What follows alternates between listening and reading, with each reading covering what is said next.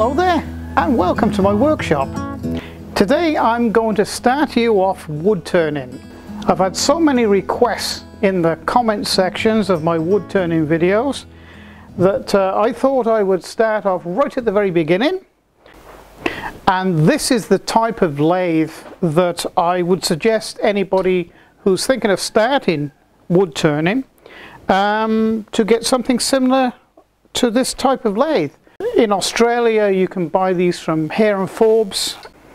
In the United States you can purchase these from Harbor Freight and Grizzly and you can actually purchase this lathe with a variable speed. It's uh, not only is it variable speed, it's got three uh, speed settings as in the belts inside here and it has a digital readout. Now that's the bare minimum I would suggest you you get. Um, you should be able to pick this up for less than $500. Also, uh, a start off kit of chisels, um, again around about $100 should be able to get them. They don't have to be large professional type. This is a, an intermediate, quite inexpensive um, set of chisels. That's wood lathe chisels. Your lathe should come with what is known as a drive spur. If you see there's teeth on this and it's got a, a center uh, pointed bit. Uh, and this is a what they call a live center. It's got a bearing in here and a, a center spike. So you hold the material between this. Now additional to that, I would suggest that you purchase a wood lathe chuck. Uh, this is a wood lathe chuck. Now uh, this comes with several different types of jaws. Uh, this would probably cost you around about 200 to 250 dollars. Okay, so all up you are looking at a rough cost of about between 700 and 800 dollars. But that will get you started uh, you know and, and, not forgetting uh, safety gear uh, goggles. And um, I would suggest um, I, I wear an apron stopping the shavings going down inside my shirt and also a face shield. This is a must okay so what we're going to do I've got this beautiful old piece of myrtle actually. This is a piece of myrtle planking and uh, I've had for years. In fact I, I, don't know when I got it probably more than 30 years ago. Um, so what we're going to do is we're going to turn this into a bowl um, or a very small platter. So what I've done to, to, to make life easy uh, is I've marked it the largest circle on here possible um, which you know with an ordinary pair of calipers um, I just marked it with a pencil and now you could just saw these corners off with a with an ordinary handsaw.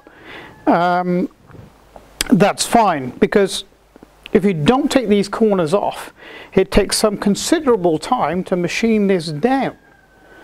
All right, so to save yourself a lot of hard work, just knock the corners off with the saw. I'm going to use my bandsaw because I have one, and uh, I can take these off in a couple of minutes. Okay, so we've got a round blank now. It does save you a lot of work. So we just put the center of this blank onto the center spike of the spur drive and then bring the tailstock up and press it into the spur drive like lock the tailstock up and just press it in like so. Making sure everything's done up nice and tight. There we go, lock it in. So that, now that's firmly in the lathe.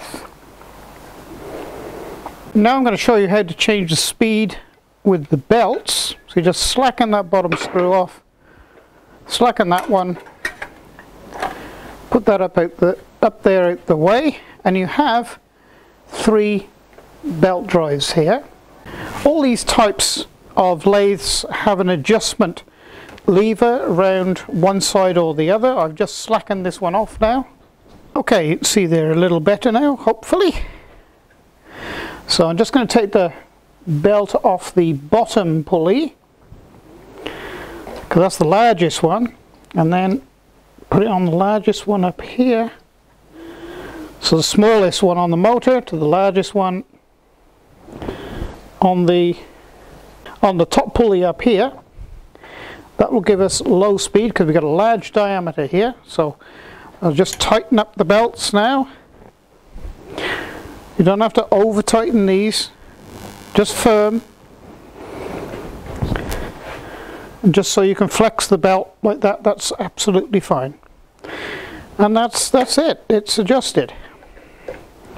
Now before we start turning I'm going to show you the the best way to set your lathe up that I was taught back in the 60s um, and it, you know it rings true it, it is true uh, I'm actually using an, uh, a it's actually a welding bench with a um, plywood board put on that I've got my lathe attached to.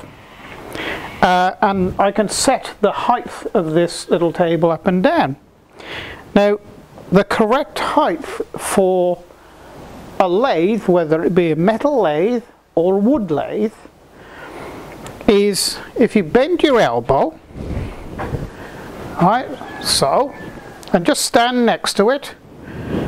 The tool rest or the center of the lathe should be in line with the underside of your elbow.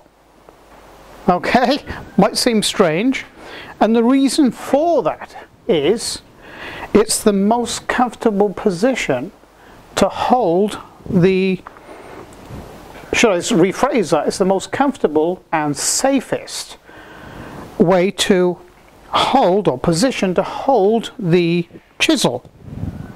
Okay, so the chisel is actually in line with your, your elbow. There. Uh, you know, you, you, when you're using the, the, the chisel to, to machine, you know, you will actually move your whole body like this rather than move your arms. Okay, it's much more stable. Not that there's a great amount of um, motion or pressure imparted onto you through the tool, or shouldn't be. Um, if you keep the tool rest fairly close to the work, in other words, you machine away a little bit, then move the tool, the, the tool rest in slightly, all right, and always keep it between a quarter and half an inch gap there no more than half an inch. Uh, certainly on a, lathe this size, uh, using tools this big. Um, so, and that's the perfect way to work with a wood lathe, or indeed a metal lathe. Okay, so let's start machining this. Make sure that you're on the lowest setting on the variable uh, speed, switch it on, and there's a couple of second delay, and then this will start spinning. Okay. So now we just present the tool to the work.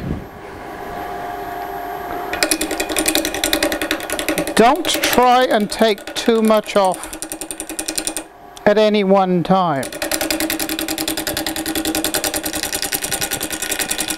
A little bit at a time. You know, this is a very small lathe or a fairly small lathe, but you can you can actually do quite a bit of work with this lathe. Just work away at it. And we're going to keep on machining this down till we get it nice and round.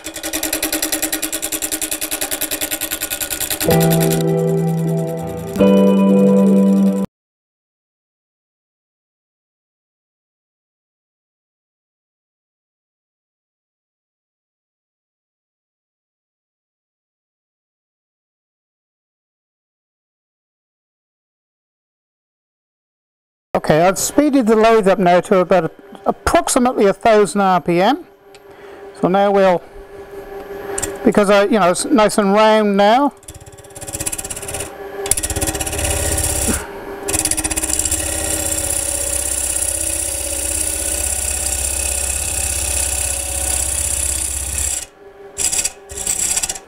We'll just start to take this corner around.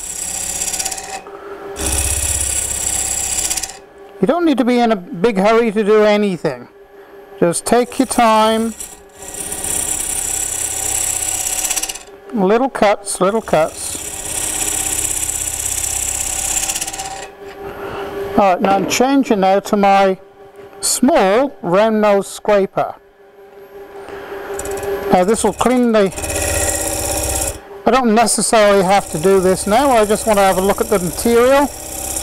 So just clean the tool marks out of it.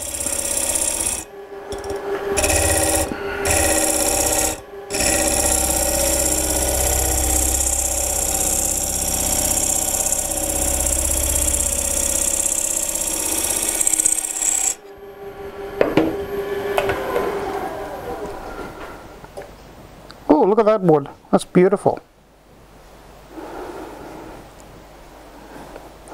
So we've got ourselves now round outside. So now what I'm going to do is face off this side and we'll put a tenon on here and I'll I'll start to, this is the back of the bowl. So I'm going to start to round this around now as well to get the shape of our, our bowl or platter.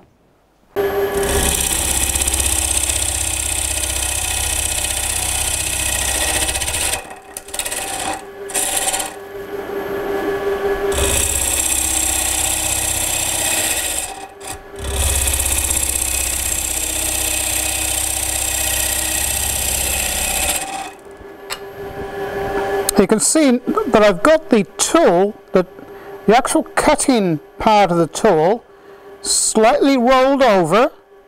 Okay, so I'm just touching the tip in here to get a start, if I can get a start. Okay, and I'm just following it down like so. So what I'm actually doing is I'm rubbing the back of this. I'm starting to cut with the tip and I'm rubbing the back, it's called rubbing the bevel, onto the material to stop the tool, the chisel, digging in too deep. Okay, so you'll notice that I had the tool rolled over this direction, start the cut and then push it through, holding the bevel, sliding the, this bevel actually down the face of that material. Okay, so that does several different things actually. It stops the tool digging in any further and also by rotating the chisel around this way it's, it also prevents the chisel biting in too deep. If you turn it this way that means the ch chisel is going to present more of the cutting edge into the material and you could get a, what they call a catch. In other words the chisel could bite in real deep and could actually bring this out through from the cell, you know, sort of bring it loose from the centers. So, you know, when you're turn him, it's, you know, everything in moderation. Just take your time and uh, you'll, you'll be okay. All right, so I'm going to continue machining this back a little bit, then I'm going to machine the rest of this surface here and then put a tenon in here to fit in my chuck.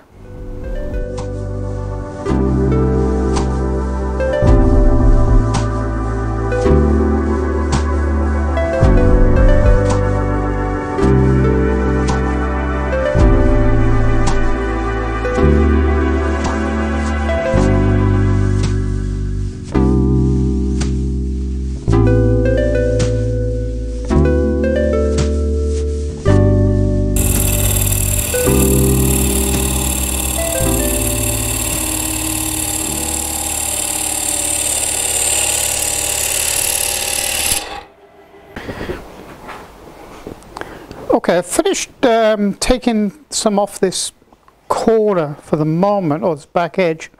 I'm just going to surface this off now, and I'm going to make a tenon in there for my chuck. So simply I just roll the tool over the other direction like that. That's a pull cut. And of course this is a push cut.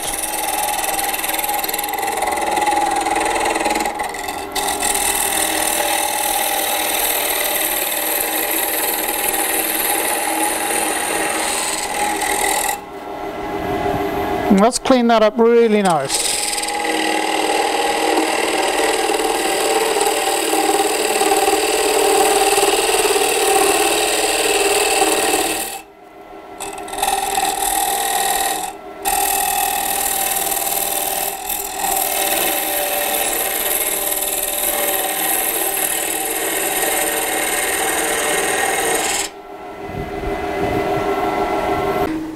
I'm just going to mark a 50 millimeter diameter um, ring now, actually 50, bit of 52 millimeter, which is about, oops, about there. Let's just check. Actually that'll do quite nicely. So now what I'm going to do is just machine a slight area out here uh, and I will I'm going to actually cut a slight wedge in here so my the jaws of my chuck can go, can go inside and open out. And at the same time this is going to be our base.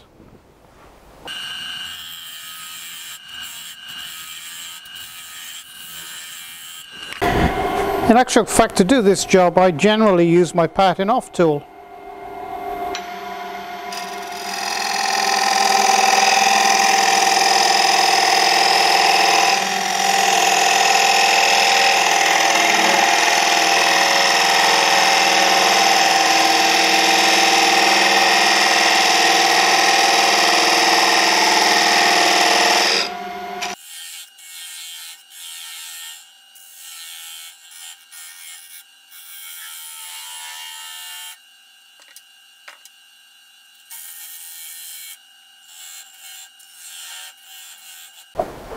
Okay, so hopefully you can see now there's like a, a wedge inside there. The jaws of my chuck are going to fit inside there, open out and grasp the piece of work. So now I'm going to clean this, this surface up here and then machine some more of this around here.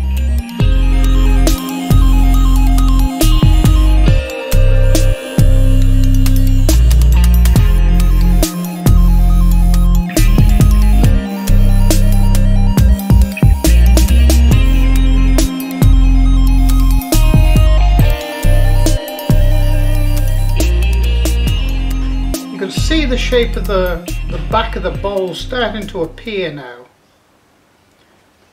So you just do it in gentle stages.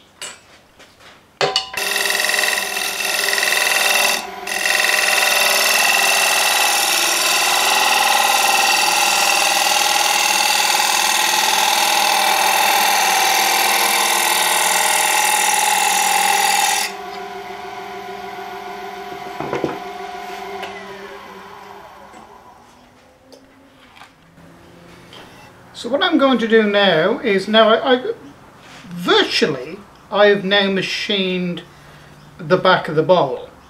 Uh, so now before I turn the bowl around I'm going to do some finishing on this. I'm going to do some sanding uh, because it's easier at this stage. Now if you're going to do some sanding you need to remove the tool post, get this out the way as far as you can uh, because you're going to be you know, working with your hands on a spinning object here.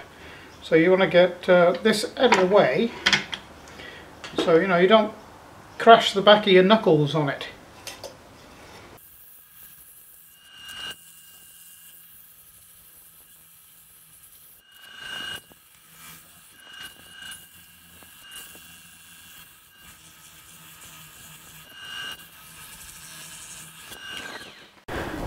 Okay, I've removed the um, piece of material now from the between the centers and I've knocked off the little nub that's there with uh, a chisel. So now I'm going to pop this out of here and you normally should get a rod similar to this. You just put in the back and it comes out just like that. It's just the taper that holds it in inside here. So now I'm just going to put fit the chuck onto the end of the headstock. This is the headstock. That's all it requires.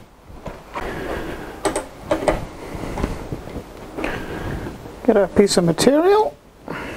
So now I'm going to just going to fit this over these jaws. These jaws are tapered as well. They're just going to splay out and grip the inside of this and hold our material.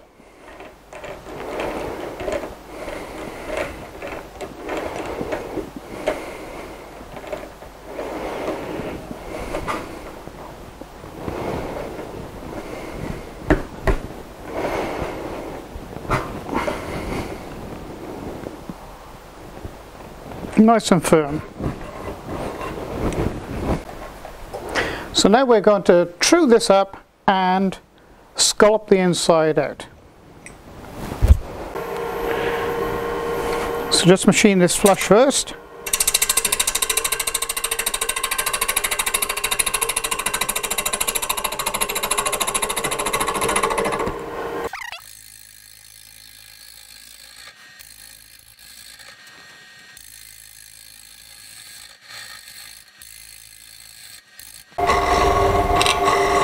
Like to start in the middle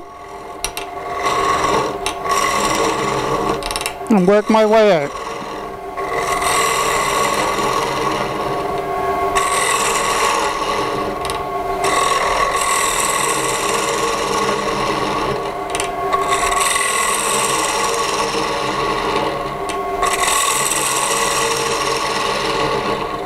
Don't be in a hurry to do this.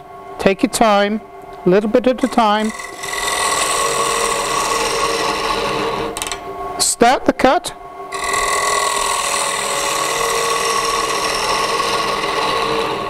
And just follow it down in, holding the, the back edge of the, the bevel up against the wood, like that. See it's not cutting? So what you do, you start the cut with the tip, and then push in and follow it down. Rubbing the back of the bevel on the material prevents the tool or the chisel from cutting deeper into the material and gives you some control over making a cut.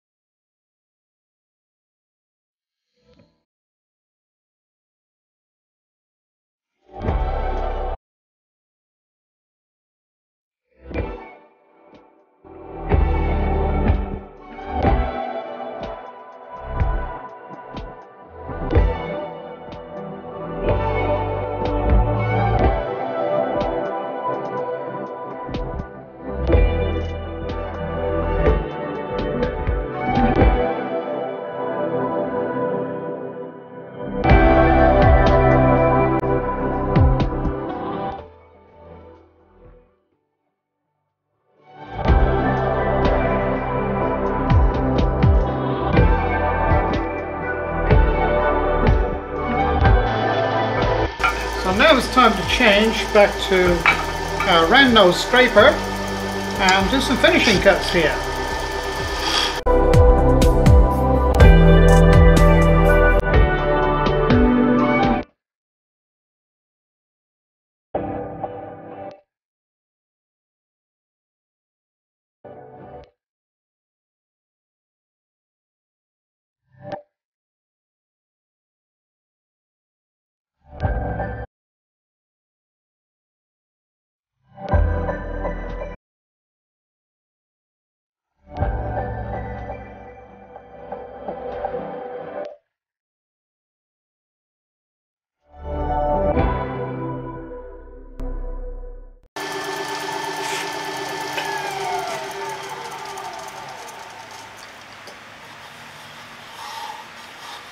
A beautiful little bowl.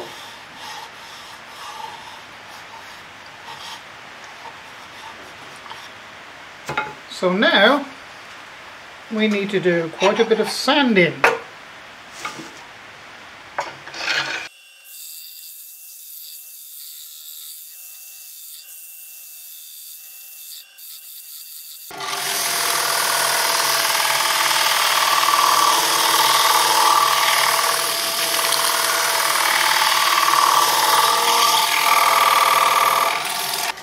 Now it comes to the finishing. Now the sheen or the shininess you see of the bowl is because I've taken this uh, is because I have taken this bowl all the way down to 1200 paper. So I apply my finishes in two separate coatings and that is Triple E Ultra Sheen Wax. This is in itself is a, a friction wax polish. So we'll start with the inside. Lathe is, lathe is running slowly, so we're just look at that beautiful rich colour coming out.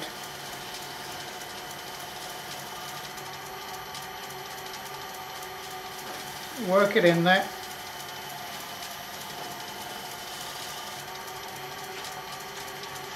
Bit on the outside.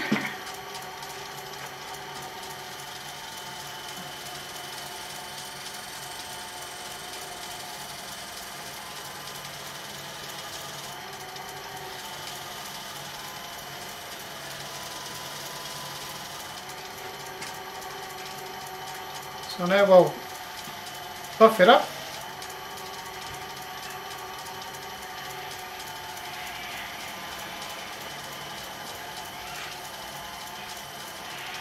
Keep it moving.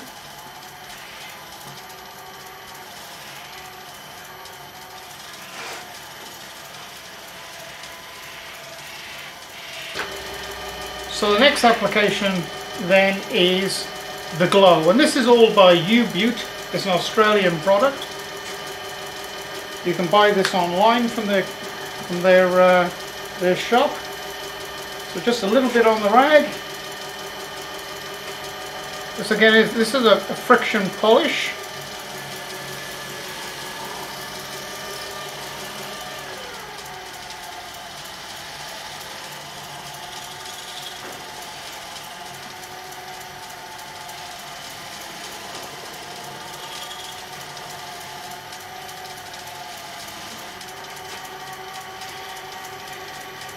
So what we'll do, we'll do this in two parts. We'll do the inside first.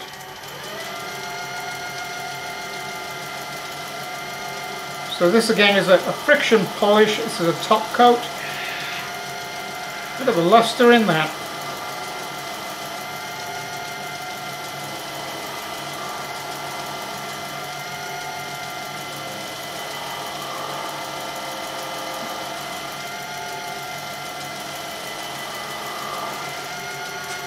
And a little bit more for the outside. Turn it down a little.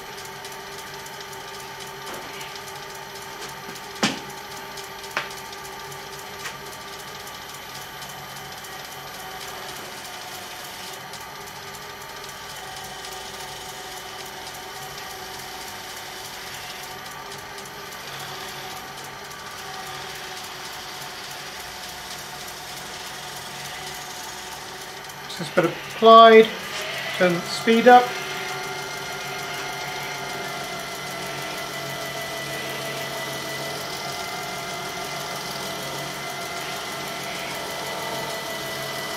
Put some heat into it.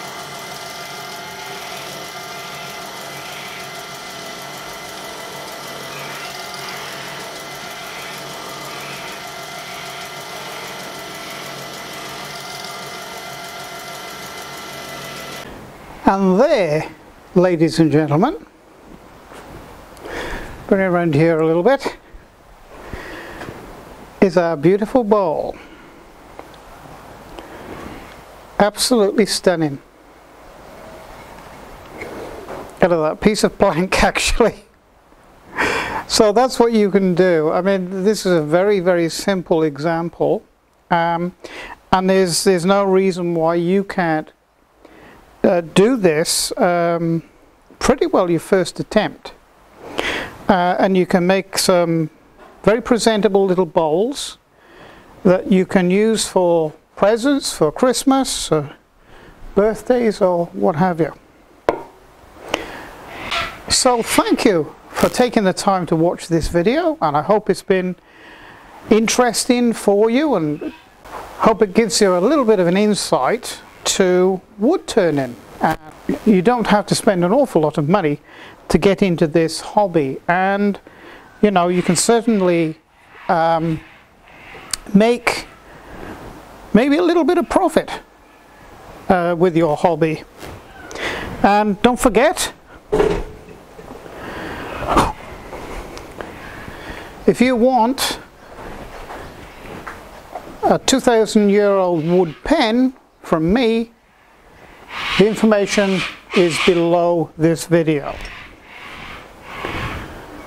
So again, thank you for watching the video and please like, subscribe and I have two channels now and uh, there's probably oh, about 420 videos on wood turning, CNC routing, CNC milling, laser, um, getting a lot of success with laser and of course all the associated programs with uh, the electronic machinery. So it's bye for now.